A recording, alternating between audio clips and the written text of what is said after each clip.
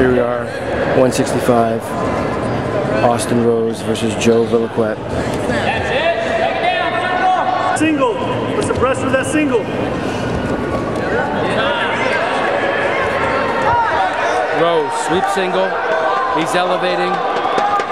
They're hand fighting. Japanese level change, gets the two points. First move. Start of the second period. Pressure, back pressure, pressure. takes bottom, quickly to his feet. He's trailing two to zero. They're hand fighting. Rose drops to the leg.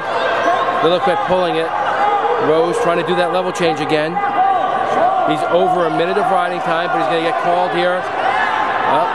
For stalling. He's at four. He's stuck.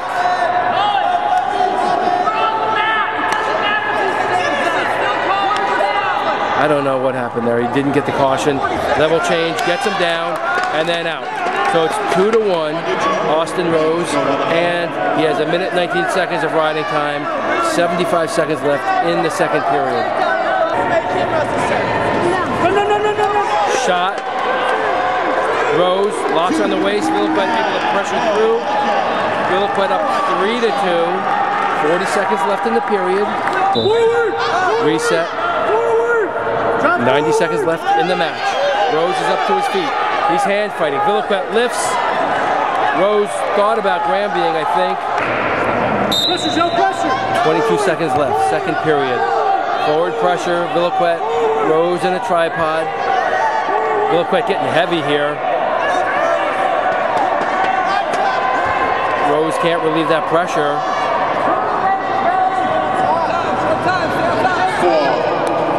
And that's how we'll end the second period.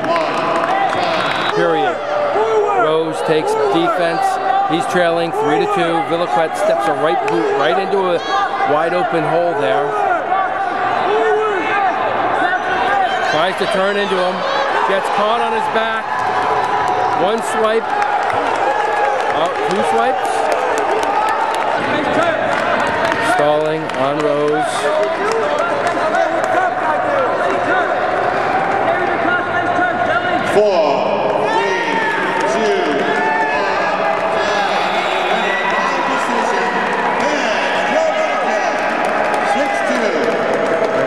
6-2, Joe Velliquette.